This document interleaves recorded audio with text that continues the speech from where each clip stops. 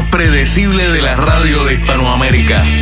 Sin filtro, radio show. Bueno, vamos a trabajar porque mm, hay, arma, hay almas que salvar. Da, da, da, da, da. Robert. Ven acá, me informan, eh, Denise, como que hay una situación inesperada eh, entre dos figuras del entretenimiento queridas. La señorita perversa que está en estado de gestación, ¿no? Sí. Y la Piri. Ay, sí, fíjate, esto pasó en la plataforma eh, de Carlos Durán. What? Ahora hacen como un tipo mesa redonda, donde quizás algunos contrincantes se reúnen y se dicen sus cositas. Tienen un- una especie de, una dinámica donde se ven de frente y se dicen ciertas cosas. Ok, pónmela ahí en pausa, eh, lo que nos organizamos aquí en el panel. Eh, los otros días yo pregunté en este programa a ustedes que si Kenny Valdés, mi amiga Kenny Valdés, estaba como que estaba fija en el programa de Luini de las mañanas, el show de Luini, o si ella estaba ahí temporal. Y me dijeron como que ella estaba cubriéndole las vacaciones, creo que a Fogón. No sé si ustedes recuerdan. No, pero No, ella está fija. No, no, pues entonces, ok, Trabaja, ok, que ni entonces, entonces eso fue entonces en la otra temporada de Sin Filtro cuando estaba Juan Carlos, que yo pregunté eso aquí. Entonces, eh, alguien me confirmó que ella está como panelista en el programa de Luis. ahí. Sí, Kenny claro, Valdés. claro, Sí. claro. Ponme de- déjame eso en pausa para que desarrollemos eso. Yo no sé porque cada quien decide cómo se maneja y cómo maneja su carrera y su imagen. Yo a Kenny le tengo un afecto y un cariño especial. Esa vez dije, y Kenny estará como panelista en ese programa, porque cuando tú comienzas un proyecto, como figura principal, tu proyecto como la fórmula, que para mí tiene hasta más calidad que el show de Luini, yo no sería panelista en un programa con un concepto igualito que el que yo produzco, que es mío. Hoy veo que publican una foto como unos TBT hablando de la historia de Kenny, de que tiene 18 años en los medios y ellos mismos la cuenta de, la fórmula titulan nuestra guía y fundadora. Entonces como que no se corresponde mucho cuando tú tienes un... Eso digo yo, cada quien sabe las situaciones que tienen. Eh, yo recuerdo en una etapa que yo ra- trabajaba en varios programas, entre ellos con Ramón Pastrano, en qué noche y u otros medios, y decidí tener la tuerca y buscando sonido y me quité de todos los programas que yo participaba para enfocarme en mis proyectos, canalizar todo y el que me quisiera ver me veía en mis proyectos. Entonces como que ver a Kenny todos los días en la mañana con Luis en un panel ahí, un programa que, que cuando tú lo buscas, ¿qué? Y que no está ni siquiera a la par con el programa de ella, porque si, si ponemos en comparación, por ejemplo, Ali David, que es fundador de los dueños del circo, está en el programa Esto no es radio, está en Alofoque Radio Show, pero son programas que a nivel de número y a nivel de rating ahora mismo están por encima de los dueños del circo. Es diferente.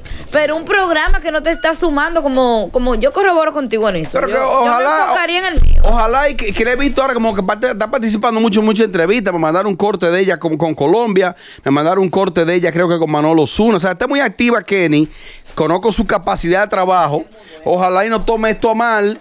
Pero yo me enfocaría, para mí Mira. la fórmula, yo como consumidor de radio, para mí la fórmula es mejor propuesta que el mismo show de la mañana. Pero bueno. Ahí puede haber dos, dos vertientes también. Una, ella de pronto quiso de un momento a otro hacer la transición y no quedarse solamente como comentarista de, de farándula y espectáculos, sino también convertirse en una figura, ¿no? Porque acuérdate que cuando aquí nosotros somos figuras todas presentadoras primero, ahora somos comentaristas de espectáculo y de farándula. En el caso de ella es al revés. Otra cosa también puede ser el plano financiero. Es Tal vez, eh, exacto, tiene otro sueldo más, otra otra entrada más económica. En, en- en la primera vertiente que tú explicaste, ella dijo en una entrevista con Manolo Zuna que ella no le interesa hacer otra cosa que no sea periodista. No, ok. Que no le interesa hacer crossover. Ya. Pero bueno, y ella dirá, esta es mi vida, Robert, vive la tuya. Ella sabe el cariño que le tengo. Vamos a analizar lo de la Piri y lo de la perversa entonces. El Bueno. origen es en Carlos Durán. Sí, esto se dio en la plataforma de Carlos Durán, ahí ellas tienen un enfrentamiento, eh, se dicen muchas cosas fuertes, Feas. sí, muy feas. Eh, se habla hasta de un supuesto abuso. Oh, se Dios. habla de, de ¿Qué? la palabra gráfica que utilizó la Piri para la perversa, No la repita. no retienes. ¿Qué? Sí, fueron eh, cosas de ese tipo. La perversa le contesta que si ella no ve a Yomel como está detrás de ella aún. También se habló de que la Piri. En un momento, la perversa le dice a la Piri, deja de atacarme tanto que luego mandas a pedirme perdón por detrás. Sí. ¿Qué? Y muchísimas cosas más que se dijeron eh, en, este, en este bloque, por así decirlo, del programa de Carlos Durán. Pero entonces el origen de eso, yo me imagino que eso... Oh, que la Piri amiga de Yailin. Tiene que ser. Pero, pero mira, mira lo que te digo, la perversa no tapa eso, o sea, ella no necesita eso. Está bueno que le invitamos para acá, para este programa. Ella no lo necesita. Hacerle una entrevista bonita y mira para dónde se fue a los para Ella no, la ella, ella no necesita eso, porque si tú me dices que es un nuevo talento, que necesita sonar, que necesita hacer este tipo eh, de entrevista o qué sé yo, de debate, pero ella no lo necesita eso. A mi entender, eso estuvo de más la que ella Piri le dijo, le dijo vaca muerta. Este le dijo que, bueno, tuvieron eh, muchas cosas feas, se dijeron. En un momento, la perversa le dice: eh, No me voy a poner contigo porque tú eres un hombre y yo soy una mujer. Como Oh. que ella misma quería, como que detener la, la situación, pero aún eh, siguió la discusión. Pero eso entre es como, ellas. eso es como un formato que ellos tienen eh. En el en el canal de Como un YouTube debate. de Carlos Como Durán. Decirse Sí. la verdad como... O sea, un cara a cara, algo así. Sí. Yo no haría eso con nadie. Ay, no, wow. Eso va a traer un problema un día entonces. También deben existir límites. A mí nunca me gusta victimizar a las mujeres embarazadas, pero ha- hay que tener como, como cierto control y cierta empatía con ellas porque considero que no están en el mismo eh, eh, en la misma condición que nosotras actualmente. ¿Y tú Ah, sabes lo que pasa? ¿Por dónde empieza, Yulai? Que la empatía uno tiene que tenérsela a uno mismo. es Cuidarse cuando uno uno mismo. está en estado. Ella sabe para es dónde iba. uno que tiene que protegerse. Aparte de que es cierto, las personas tienen que tener empatía, pero primero empieza por ti. No, ella Uno fue a la boca, ella, se- cuidarse. ella fue a la boca del lobo porque si ella sabía que eso iba a suceder. Y ella fue sabiendo, ella como misma. dice Denise, que No, ese está. muchacho es amigo de Yailin. Ay, no. Claro. No, ¿Alguna porque reacción a que veces yo escucho a la gente, a personas, no solo gente del medio, decir de que yo quiero que me respeten. Es que para que a ti te respeten, lo Hay primero que que, tú respetar. tienes, no, tú tienes que respetarte tú. Y hay que respetar. No, no, respetarte tú. Si tú no comienzas respetándote tú en todo el set de manera integral, no exija respeto. Yo vi el otro día, a propósito de que le debo una llamada a mi amigo Joseph Baez. ¿Fuiste por allá, Sandra? Sí, yo estuve por el allá. presidente de la comisión. Yo vi el otro día un cortecito que me lo envió un seguidor de, de ese programa, del personaje de la Piri, porque yo me refiero como personaje, me hablan de que de ella, eso es un hombre, un hombre, ¿no? Sí, es un, hombre, un personaje. Utilizó unos términos ahí. eh, de, que de, de lo que el hombre. Déjame ver, déjame ver. Cuando el hombre está buscando algo de intimidad que no le importa, que el hombre solo se basa, se- el hombre solo quiere algo, un orificio, para que me interpreten. Y lo dijo de una manera que yo dije, wow, pero si ellos supieran que están en radio, en FM, en vivo, eh, yo no sé hasta dónde que se va a llegar. Porque entonces tú ves que le meten tanta vaina. Cuando tú ves los números en picada. Porque si tú dices, es que esta vaina me está dando. No le está dando. Porque si tú dices, diablo, tú me estás dando toda la vaina del mundo. Yo humildemente me llamó Juvelina y salí al aire en la aldea ahora, el otro día. Ya se acabó la campaña conmigo porque ya yo salí al aire. Ya. Ahí. Busquen ese bloque para que ustedes vean cómo se quedaron ellos conmigo, todos. ¿Y qué pasó? Tranquilo. Porque eso no lo, no, lo, no lo escuché. No, no, está en YouTube, en el canal de O sea, ellos. sí, pero que no, ¿qué te dijeron? No, ellos me llamaron para. Porque yo hablé aquí de que de la. Que yo lo advertí, dije. Mencionamos a Yelida de que no tenga en radar, le va a dar unos bloques. Claro que, claro que lo hicieron. Y cuando me llamaron, gentil- gentilmente, mi amiga Juvelina, sale al aire y le, y le hice una humilde sugerencia a los muchachos. Primero, de que los equipos, este tipo de formato, debe, debe girar en torno a alguien que sea como el líder. Ahí, cuando todo el mundo quiere ser líder, eso es un problemita. Pero además, le sugerí humildemente a ellos, traten de hacer una comunicación que entretenga. Esa, esa farándula cruel y ardiente, eso no camina para YouTube. Y los números, ahí lo veo, que van en picada.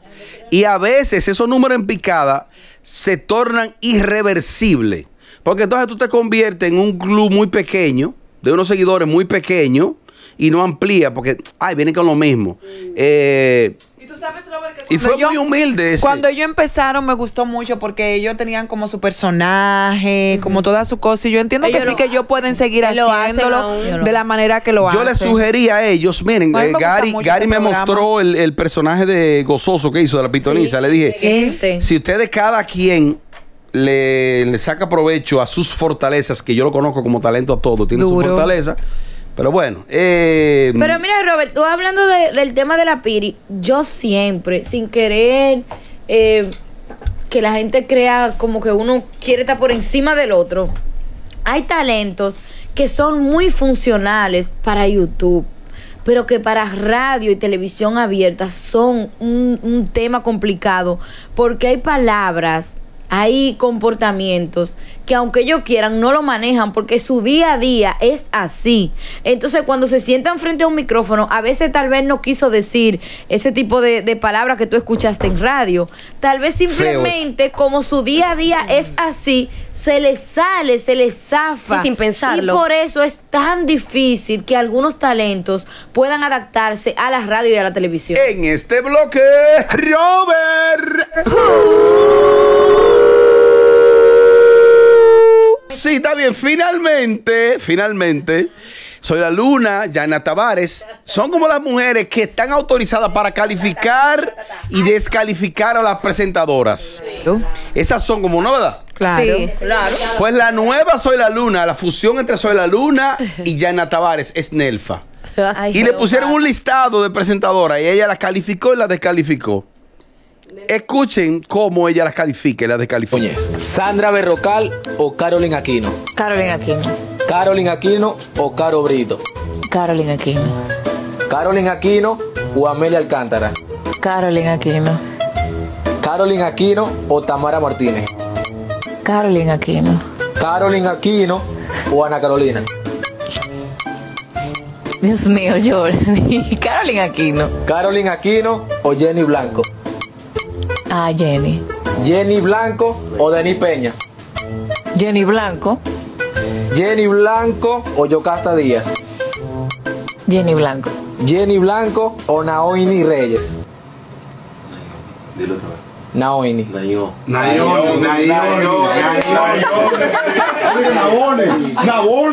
Por lo menos de aquí descalificó tres. Ahora pregúntame a mí. Ahora pregúntalo a nosotras. Pregúntalo. Dale. Ah. Ya, Yana Tavares o Nelfa Núñez. Yana Tavares. Tamara Martínez o Nelfa Núñez. Tamara Martínez. A mí como comunicadora me gusta más. Cállate, te vas a responder. Lo No, digo, nunca nada se lo da Amelia. No puedo. Jessica Pereira o Nelfa Núñez. Jessica Pereira. Jenny Blanco o Nelfa Núñez. Jerry Blanco. Candy Flow o Nelfa Núñez. Candy Flow. Lourdes TV o Nelfa Núñez. Lunes TV. Hombre, odio. Finalmente, Ay. Vitaly Sánchez o Nelfa Núñez. Vitaly Sánchez. Ni ahí entró caro, coño. La marca más dominante de la radio. Show menos predecible de la radio de Hispanoamérica. Sin filtro, radio show.